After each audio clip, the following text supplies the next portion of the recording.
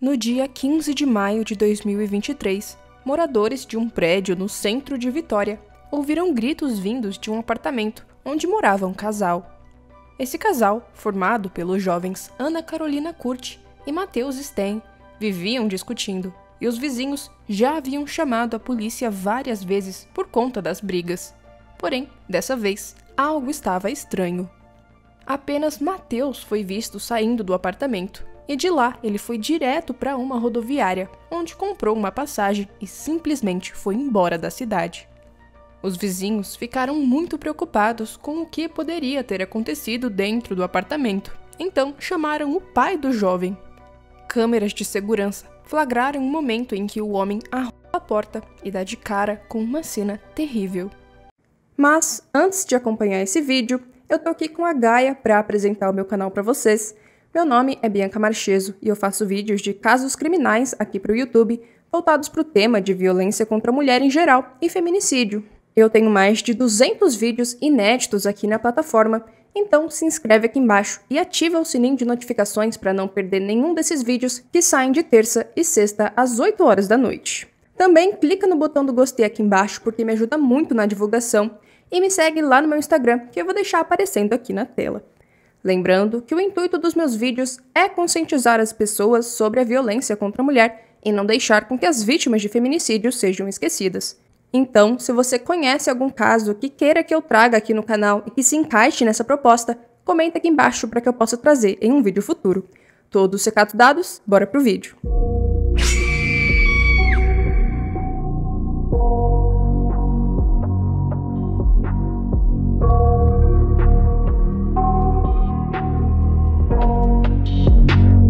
Carolina Rocha Curti tinha apenas 24 anos quando tudo aconteceu, em maio de 2023. Carol, como era conhecida, nasceu em Vitória e morou até os 3 anos na zona rural de Santa Maria de Jetibá, na região serrana do Espírito Santo. Como a família queria dar mais oportunidades de estudo para a jovem e para suas irmãs mais velhas, elas passaram a morar em Jardim da Penha, na capital, junto com uma tia, considerada sua mãe de criação. Ana Carolina foi descrita como uma menina muito doce, muito amada pela família, mas que também era muito tímida e quieta. Ela era a caçula da família, tratada sempre como uma princesa. Os seus pais a descreveram como uma jovem pura e sonhadora, muito bondosa e carinhosa com as pessoas. Junto com a sua irmã, chamada Letícia, Após ambas concluírem o ensino médio, as duas ingressaram na Faculdade de Medicina Veterinária em 2018. Elas eram tão parecidas que os colegas as confundiam, pensando que eram gêmeas. E além das semelhanças físicas, elas ainda faziam aniversário em datas muito próximas. Apenas a Letícia terminou a faculdade, pois a Ana decidiu trancar o curso provisoriamente para poder trabalhar, morar sozinha e ter a sua própria vida. Ela também pensava em mudar de curso de veterinária para fisioterapia, já que ela gostava muito de ajudar as pessoas. Um de seus outros sonhos também era ser vendedora de roupas femininas. Em fevereiro de 2023, quando frequentava um centro espírita, a Carol encontrou um amigo de infância chamado Matheus Sten Pinheiro, de 24 anos, que era estudante de direito. Ana Carolina e Matheus estudaram juntos o ensino fundamental e o ensino médio, mas perderam contato quando terminaram o colégio. Porém, ao se reencontrarem, eles se reaproximaram e iniciaram um relacionamento que se deu de forma muito rápida. Com cerca de três meses de namoro, o casal decidiu morar junto em um apartamento pertencente ao pai de Mateus, no centro de Vitória. Durante o namoro, a Carol deixou seu emprego e passou a depender financeiramente do namorado, já que ele não permitia com que ela trabalhasse. Os familiares estranharam esse comportamento da jovem, que sempre quis viver a sua vida e lutava pela própria independência. Mas o que eles não sabiam é que a Ana Carolina estava entrando em uma relação abusiva, já que o Mateus era um jovem agressivo, muito ciumento e possessivo. Os familiares contam que ele foi o primeiro namorado de Ana, e como a jovem sempre foi muito tímida e fechada, eles não ficavam sabendo sobre o que acontecia dentro daquele apartamento. Os vizinhos do casal contam que os dois tinham históricos de brigas e confusões no prédio. Por várias vezes, eles ficavam preocupados e chegavam a acionar a polícia, mas a situação sempre era resolvida no local. Porém, quando estava perto da família da namorada, o Mateus se comportava bem e fingia ser respeitoso com Ana. Letícia, a irmã da jovem, diz que viu Mateus ser muito carinhoso com ela, a abraçava o tempo todo e sempre estava ao seu lado. Mas eles se viam poucas vezes, e a família só soube que a Ana Carolina estava morando com Mateus quando ela já havia se mudado. Quando questionada pela família sobre o porquê não contou sobre a mudança, ela disse que estava esperando para recebê-los com a casa um pouco mais arrumada e que queria fazer uma surpresa. Uma das amigas de Carol disse que tudo foi muito silencioso, que o Mateus tirou ela da família, a afastou dos amigos de uma forma muito sutil. No início, ele se apresentou como um príncipe para ela e para a família, e com o tempo, ela se afastou e não queria mais compartilhar nada com a família. Nos meses antecedentes ao crime, a Ana passava os dias chorando. Quando a família perguntava o que estava acontecendo, ela dizia que não era nada. Quem percebeu que o namorado da filha não era uma pessoa boa foi o pai de Carol, que logo que conheceu Mateus teve um pressentimento ruim. Ele contou em uma entrevista que não foi com a cara do jovem e que sentiu uma coisa pesada em seu coração. Ele também percebeu que o Mateus não largava o pé de sua filha, que não a deixava falar, já que sempre ficava em cima dela. Mas a Ana parecia amar muito o jovem, e quando percebeu que os comportamentos do namorado não eram normais, era tarde demais. O relacionamento, como eu disse, se deu de forma muito rápida, sendo que eles foram morar juntos muito cedo e, uns meses antes do crime, eles já estavam pensando em ter um filho. Um primo de Ana, chamado Daniel, disse em entrevista que o casal tentava engravidar e que eles não tinham noção que o Mateus era um rapaz violento com ela. Porém, até onde eles sabem, a família do jovem tinha conhecimento disso, mas não fazia nada. Acontece que o Mateus escondia da família da namorada que acumulava boletins de ocorrência em seu nome. Uma das ocorrências em questão era por calúnia, difamação e injúria contra a mulher. Além desta, Mateus também já tinha invadido a propriedade de um vizinho, um idoso de 60 anos, arrombando a porta do apartamento com chutes. Em 2018, uma namorada dele o denunciou por tê-la agredido verbalmente e a empurrado na frente de um carro. Em 2019, esse vizinho o denunciou por invadir a sua casa e dizer que iria tirar a sua vida. Nos anos de 2022 e 2023, a própria família do Mateus chamou a polícia para o jovem, quando ele discutia com eles e ficava agressivo. Nas duas ocasiões, os pais relataram que ele teria ingerido bebidas alcoólicas, o que piorava o seu quadro, já que ele era esquizofrênico. Não se sabe de fato se ele teria realmente esse transtorno mental, já que nenhum laudo foi divulgado. E, em abril de 2023, um mês antes do crime, o boletim foi feito por vizinhos de Ana Carolina e Mateus, que presenciaram uma briga e viram que o jovem estava muito alterado. A polícia chegou a entrar no apartamento, mas a Ana negou qualquer tipo de violência e disse que ambos estavam bebendo, não apenas o Mateus. Por conta da repressão que sofria do namorado, a Carol demorou para enxergar que vivia em um relacionamento tóxico e, quando percebeu, era tarde demais. Alguns dias antes do crime, o seu pai disse que a filha pretendia deixar o namorado e se mudar para a casa do pai, onde morava na infância. Porém, não deu tempo. No dia 15 de maio de 2023, por volta das 3 horas da tarde, vizinhos ouviram gritos vindos do apartamento do casal. Eles novamente chamaram a polícia, pensando se tratar apenas de mais uma briga entre a Ana Carolina e o Matheus. Como eles sabiam que a polícia demoraria para chegar, os vizinhos também ligaram para o pai de Matheus, dono do apartamento. O homem chegou no local antes da polícia e, acompanhado da síndica do prédio, eles bateram na porta, mas ninguém atendeu. Os dois então tentaram contato via telefone, mas não obtiveram resposta. Então, às 4 e 12 da tarde, o pai de Mateus arromba a porta do imóvel.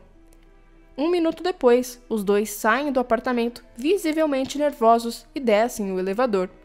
Às 4h21, policiais militares chegam ao décimo andar do apartamento.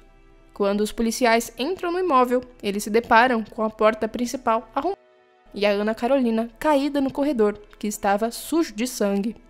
Eles chegaram a acionar o SAMU, mas a jovem não chegou a ser socorrida, pois teve o óbito confirmado no local.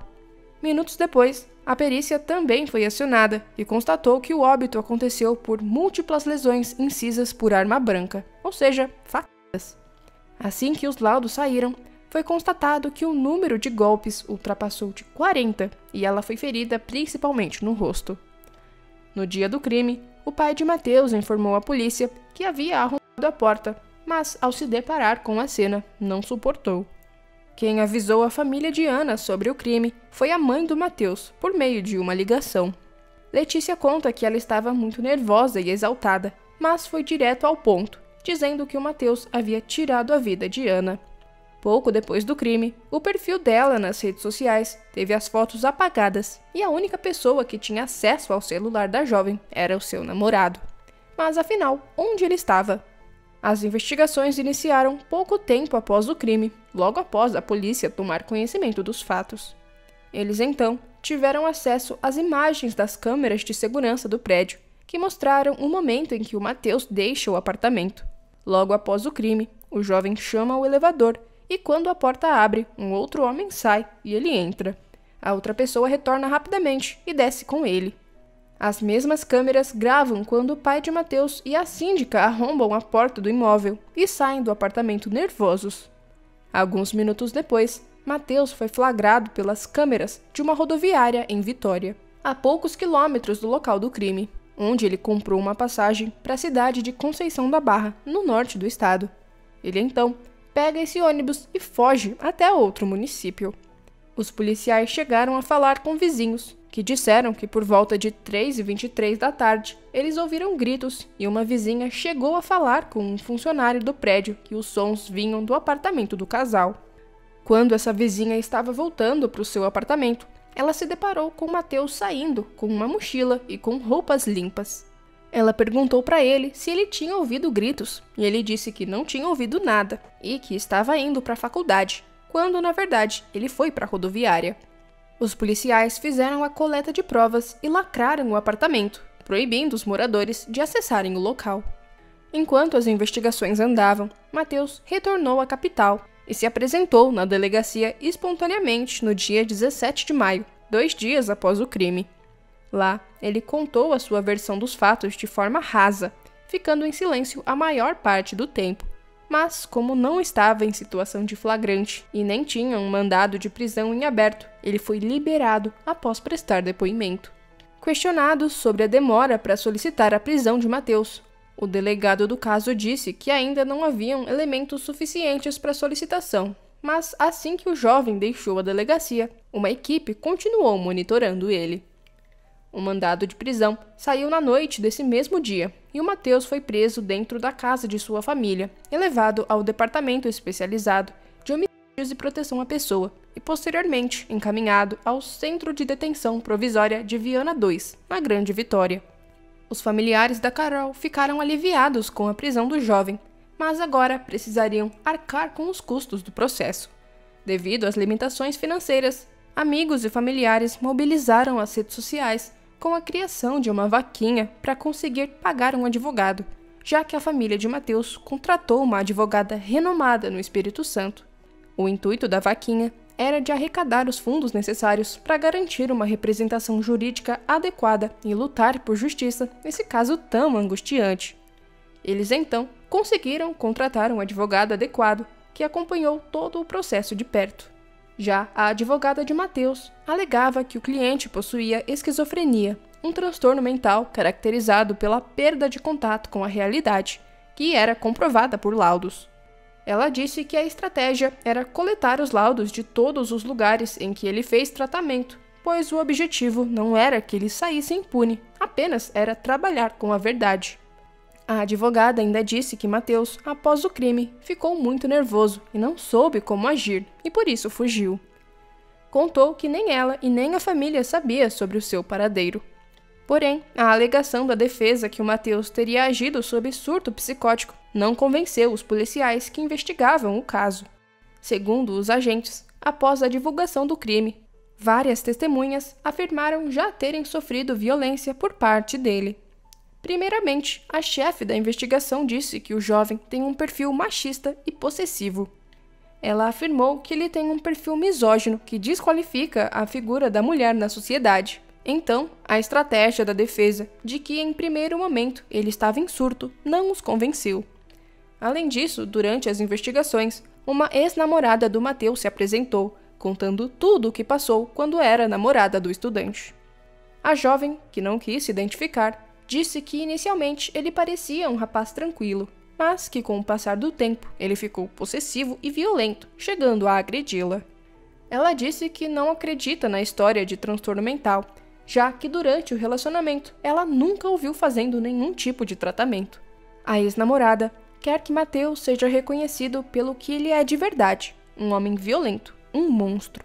Ela diz que a alegação de esquizofrenia é apenas uma estratégia da defesa para que ele não seja preso e julgado. Alguns dias após o crime, foi realizado um protesto pedindo por justiça e pelo fim da violência contra a mulher. Durante uma caminhada pela orla de Camburi, muitos manifestantes seguravam balões brancos que simbolizavam um pedido de paz e usavam camisetas com uma foto em homenagem a Ana Carolina. Um mês após o caso, a família de Carol disse que desde o crime tudo tem sido um pesadelo. Muitos não conseguiram voltar a trabalhar e vivem à base de remédios. Eles disseram que o Mateus não tirou apenas a vida de Ana, mas um pedacinho de todos os familiares. É uma dor que a gente sabe que vai ter que conviver pro resto das nossas vidas, disse a irmã de Ana. Mateus se tornou réu no processo, já que a justiça determinou que ele vá à júri popular respondendo pelo feminicídio de Ana Carolina. A denúncia do Ministério Público diz que o crime foi motivado por ciúme, infundado e abjeto, já que o Mateus pensou que a namorada estaria o traindo e decidiu ceifar a sua vida. A denúncia destaca que o crime foi praticado mediante recurso que dificultou a defesa da vítima, uma vez que a jovem foi surpreendida no interior de sua casa restando apenas gritar e implorar por socorro sem êxito, enquanto Mateus, com superioridade de força, desferia golpes contra ela. Além de responder por feminicídio, eles ainda requerem que ele pague uma indenização por danos materiais e morais aos familiares de Carol. Mateus assumiu a autoria do crime e continuará preso até o julgamento, que ainda não foi marcado. O enterro de Ana Carolina aconteceu no cemitério municipal de Viana e foi marcado por muita comoção e revolta. A mãe de consideração que criava Ana e a sua irmã fez um desabafo durante o sepultamento. Nós precisamos de justiça pela Ana, por todas as moças, moças frágeis, delicadas e dóceis, disse ela, muito emocionada. E essas são as últimas notícias que temos do caso. Ana Carolina Rocha Curti foi mais uma vítima de feminicídio que aconteceu aqui no Brasil.